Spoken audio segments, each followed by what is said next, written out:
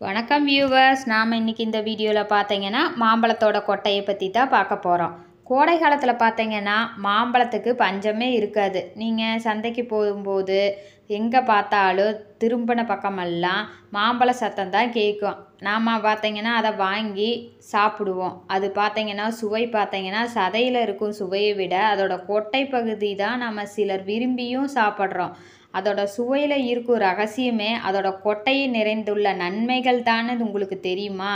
அதாவது மாம்பழ கொட்டையில் பார்த்தீங்கன்னா விதையில் எண்ணற்ற நன்மைகளும் மருத்துவ குணங்களும் இருக்குது அதை பற்றி தான் இந்த வீடியோவில் பார்க்க போகிறோம் ஸ்கிப் பண்ணாமல் பாருங்கள் மாங்கொட்டையில் பார்த்தீங்கன்னா ஏராளமான தாதுக்கள் இருக்குது நீர் பார்த்தீங்கன்னா ரெண்டு கிராம் புரோட்டீன் முப்பத்தாறு கிராம் கொழுப்பு பார்த்தீங்கன்னா பதிமூணு கிராம் கார்போஹைட்ரேட் பார்த்தா இருபத்தி நாலு கிராம் நார்ச்சத்து ரெண்டு கிராம் கால்சியம் பார்த்தா இருபத்தோரு கிராம் ஆஸ் பார்த்தீங்கன்னா ரெண்டு கிராம் மாக்னீசியம் பார்த்தீங்கன்னா முப்பத்தி நாலு கிராம் பாஸ்பரஸ் பார்த்தா இருபது கிராம் பொட்டாசியம் பார்த்தா நூற்றி ஐம்பத்தெட்டு கிராம் சோடியம் பார்த்தீங்கன்னா ஏழு கிராம் வைட்டமின் பி ஒன் பார்த்தீங்கன்னா எட்டு கிராம் வைட்டமின் பி டூ பார்த்தா மூணு gram vitamin B six nineteen gram vitamin B twelve பார்த்தா பன்னெண்டு கிராம் வைட்டமின் சி பார்த்தீங்கன்னா ஐம்பத்தி ஆறு கிராம் இருக்குது வைட்டமின் ஏ பார்த்தீங்கன்னா இருபத்தேழு கிராம் வைட்டமின் இ பார்த்தீங்கன்னா மூணு கிராம் வைட்டமின் கே பார்த்தா ஐம்பத்தி ஒம்பது கிராம் இருக்குங்க. இத்தனை பயனுள்ள இந்த மாங்கொட்டையை பார்த்தீங்கன்னா நீங்கள் வேஸ்ட்டாக தூக்கி போடாதீங்க.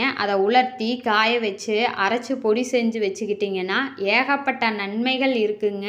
அதை பற்றி தான் இந்த வீடியோவில் பார்க்க போகிறோம் ஸ்கிப் பண்ணாமல் பாருங்கள் ஃபஸ்ட்டு ஒன் ரத்த சோகை. ரத்த சோகைன்னு சொன்னால் உங்கள் ரத்தத்தில் போதுமான சிவப்பு ரத்த அணுக்கள் பார்த்தீங்கன்னா இல்லாத ஒரு நிலைன்னு நம்ம சொல்லலாம். இது பார்த்தீங்கன்னா உடலுக்கு தேவையான ஆக்சிஜனை எடுத்து செல்லும் ரத்தத்தை இது கட்டுப்படுத்தும். உங்களுக்கு இது ரத்த சோகை இருந்துச்சுன்னா நீங்கள் எப்போதுமே சோர்வாகத்தான் இருப்பீங்க. இது மட்டும் இல்லைங்க தலைவலி கூட ஏற்படும். இந்த ரத்த சோகையை நம்ம குணப்படுத்துவதற்கு பழங்காலத்தில் மாங்கொட்டையை பயன்படுத்துகிறாங்க இந்த மாங்கொட்டையை நீங்கள் நல்லா காய வச்சு உடைச்சி பருப்பு எடுத்துட்டு சுத்தமாக செஞ்சுக்குங்க. சுத்தம் செஞ்சுட்டு சிறு சிறு துண்டுகளாக நறுக்கிக்கிங்க. அதை வானொலியை நெய்யில் விட்டு மாம்பருப்பை நல்லா வறுத்து ஆற வச்சுட்டு பொடி செஞ்சுக்குங்க. இந்த பொடியை நீங்கள் தினமும் தேனில் கலந்து சாப்பிட்டு வந்தீங்கன்னா ரத்த சோகையிலேருந்து முழுமையாக குணமாகலாம். செகண்ட் ஒன் வயிற்றுப்போக்கு. வயிற்றுப்போக்கு தொடர்ந்து போகும்போது நம்ம உடலில் உள்ள மொத்த நீரும் வெளியேறிடும். அதனால் உடல் பார்த்திங்கன்னா வறண்டுரும். உயிருக்கே ஆபத்தான நிலை கூட ஏற்படும். நீங்கள் பார்த்தீங்கன்னா அதுக்கு மாம்பருப்பை பயன்படுத்தலாம். மாங்கொட்டையை நல்லா காய வச்சு அதோட பருப்பை எடுத்து சுத்தம் செஞ்சுட்டு நெய்யில் வறுத்துட்டு அது மிக்சியில் போட்டு அரைச்சிக்குங்க.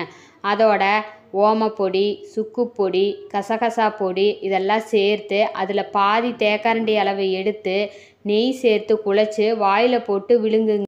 அப்படி விழுங்குனீங்கன்னா வயிற்றுப்போக்கு குணமாகும். தேர்டு ஒன் கர்ப்பிணி பெண்கள். மாங்கோட்டை பருப்பை பொடியாக்கி நெய்யில் கலந்து சாப்பிட்டு வந்தீங்கன்னா கர்ப்பிணி பெண்கள் பார்த்தீங்கன்னா கரு வளர்ச்சி வந்து சீராக இருக்கும். மாம்பருப்பில் இருக்கும் வைட்டமின் ஏ சத்து பார்த்தீங்கன்னா குழந்தை பெருங்காலத்தில் பெண்களுக்கு நல்ல நன்மை அளிக்கும். உடல் பருமன். உடல் எடையை குறைக்க உணவு கட்டுப்பாடு பார்த்திங்கன்னா மிகவும் அவசியம். அதுக்கு பார்த்திங்கன்னா மாங்கொட்டை மிகவும் பயன்படுது. மாம்பருப்பை பொடியாக்கி நெய்யில் கலந்து சாதத்தில் பிசைஞ்சு சாப்பிடலாம். மாம்பருப்பை அரைச்சி வத்தல் குழம்பு கூட செஞ்சு சாப்பிட்லாம். மாங்கொட்டை குழம்பு பார்த்திங்கன்னா கிராமத்தில் இன்னும் ஃபேமஸாக இருக்கும். மாம்பருப்பு துவையல் கூட செஞ்சு சாப்பிடலாம். அதையும் நீங்கள் செஞ்சு சாப்பிட்டு வந்தீங்கன்னா உங்கள் உடல் எடை வந்து குறையும். கொழுப்பு. உடலில் அதிகமாக கொழுப்பு சேருவதாலும் உடல் ஆரோக்கியத்துக்கு பார்த்தீங்கன்னா தொல்லை தரும். நீங்கள் வயதாகும் போது உடலில் வந்து கொழுப்பு குறைவாக தான் இருக்கணும். உடல் எடையும் வந்து கரெக்டாக தான் இருக்கணும். அப்படி இருக்கலைன்னா உணவில் நீங்கள் மாம்பருப்பு பொடியும் சேர்த்து சாப்பிடலாம். அல்லது மாம்பருப்பு பொடியில் தேன் கலந்து சாப்பிடலாம். இப்படி சாப்பிட்டு வந்தீங்கன்னா உடலில் இருக்கும் கொழுப்பு வந்து கரைக்க முடியும். உயர் ரத்த அழுத்தம். ரத்த நாளங்களில் ஏற்படும் தடையால் ரத்த அழுத்தம் ஏற்படும். இதற்கு பார்த்தீங்கன்னா மாங்கொட்டை பயன்படுது. மாம்பருப்பு பொடியை நீங்கள் தொடர்ந்து சாப்பிட்டு வந்தீங்கன்னா கண் பார்வை தெளிவு பெறும். அது மட்டும் இல்லைங்க மாம்பருப்பு பொடி தேனில் கலந்து சாப்பிட்டு வந்தீங்கன்னா ரத்த ஓட்டம் வந்து சீராகும். இதய துடிப்பு வந்து நல்லா செயல்படும். இதனால் நீங்கள் இதய நோய் வராமலும் நம்மளை பாதுகாக்கலாம். அது மட்டும் இல்லைங்க சக்கரை நோய் வராமலும் இது தடுக்கும். சக்கரை நோய். சக்கரை நோயில் பாதிக்கப்பட்டவர்கள் பார்த்தீங்கன்னா மாங்கொட்டை தூளை எடுத்து நெய்யில் குழச்சி சாப்பிட்டு வரலாம். உணவில் துவையலாகவும் சாப்பிட்லாம். குழம்பாகவும் சாப்பிட்டு வரலாம். இப்படி சாப்பிட்டு வந்தீங்கன்னா சக்கரை நோயிலிருந்து குணமாகலாம். புரதச்சத்து. உடலுக்கு தேவையான புரதச்சத்து பார்த்தீங்கன்னா இந்த மாங்கொட்டையில் இருக்குது நீங்கள் மாங்கொட்டை பொடியை நீங்கள் தினமும் இது சாப்பிட்டு வந்தீங்கன்னா உடலில் வளர்ச்சி வந்து சீராக இருக்கும். பொடுகு தொல்லை. மாங்காய் விதையிலிருந்து எடுக்கப்படும் பட்டர் பார்த்தீங்கன்னா பொடுகு தொல்லையை நீக்கும். அது மட்டும் இல்லைங்க இளம் வயதில் வரும் இளநரை பிரச்சனையை கூட வராமல் அது தடுக்கும். முடி கொழுப்புச்சத்து மினரல் வைட்டமின்கள் பார்த்தா இது அதிகமாக இருப்பதால் மாங்கொட்டை விதை எண்ணெயை நீங்கள் பயன்படுத்தும் தலைமுடி எண்ணெயில் கலந்து தடவிட்டு வந்தீங்கன்னா தலைமுடி பிரச்சனை அனைத்தும் குறையும். சர்மம். மாங்கொட்டை விதையிலிருந்து எடுக்கப்படும் பட்டர் பார்த்தீங்கன்னா சிறந்த மாய்ஸ்சரைசராக பயன்படுது. இதைய முகம் கைகால்களை தடவிட்டு வந்தீங்கன்னா கைகால் பார்த்தீங்கன்னா மென்மையாக இருக்கும். முகம் பார்த்தீங்கன்னா பளபளப்பாகவும் ஆரோக்கியமாகவும் இருக்கும். கண் கண் ஆரோக்கியமாக இருக்கிறக்கு மாவிதையில் பார்த்தா வைட்டமின் ஏ சத்து பார்த்தா அதிகமாக இருக்குது இது கண்ணில் விழித்திரையில் நிறமிகள் உருவாக்கவும் இது உதவுது. வயதாக செல்ல செல்ல நீங்கள் கண் மங்குவதும் இது தடுக்குது.